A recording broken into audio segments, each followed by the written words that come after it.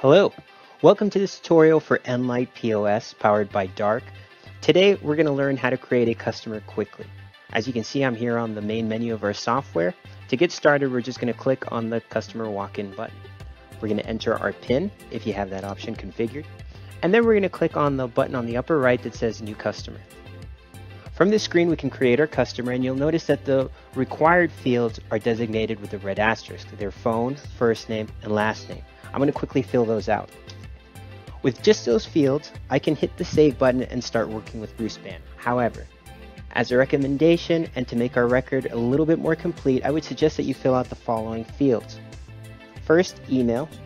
Our system emails notifications to customers for order status, for birthdays, anniversaries, uh, anything that you would like to have configured, we can send out emails for. So it's important to have it in there if you plan to use that feature. Also, just to make the record a little bit easier to work with, I recommend that you pick the starch preference and the packing preference.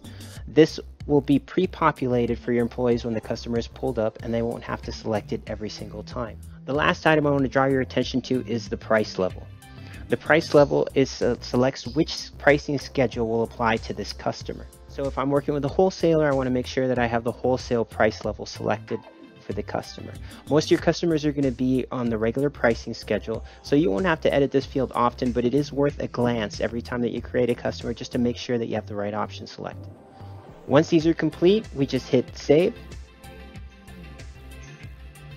And now we're ready to start working with Bruce Banner.